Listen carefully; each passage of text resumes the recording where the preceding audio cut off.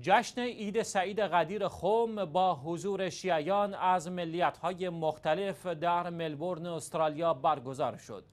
جشن عید بزرگ قدیر از سوی حسینیه آل یاسین استرالیا و با همکاری مؤسسه چراغ هدایت و با حضور شیعیان از ملیت‌های مختلف ایرانی، عراقی، لبنانی، هندی، پاکستانی و افغانی در تالار کالینگوود در شهر ملبورن استرالیا برگزار شد.